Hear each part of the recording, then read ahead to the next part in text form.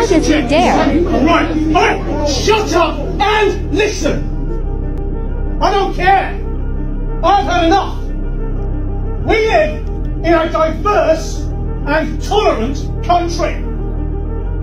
We are tolerant of different religions. 21 years ago, a group of Muslims smashed airplanes into buildings to kill thousands of people.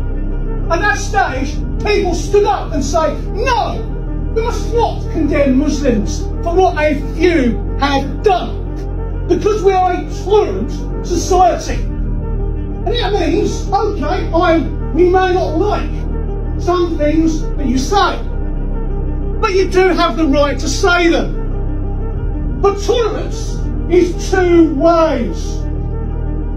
We respect the right of people to worship the way they want.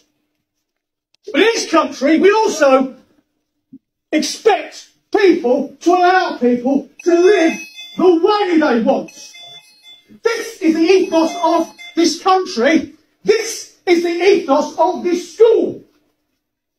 This is the ethos of this sixth form.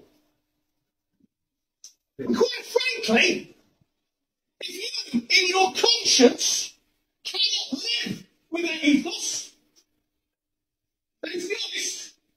why are you here? Because there are plenty of other faith schools where they will accept your point of view totally, utterly, without question. So, toleration is something that goes two ways. If you expect to be tolerated, then you must show toleration back. That is the basic ethos of living in our society. And if some of you don't like it, then quite frankly, that's tough. There's a lot of things about society I don't like.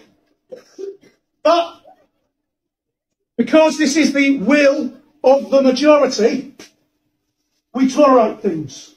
We go along with things. We do not question things and attack things simply because, oh, I don't like that. Think about that, ladies and gentlemen. The important thing about toleration is it is a two-way street.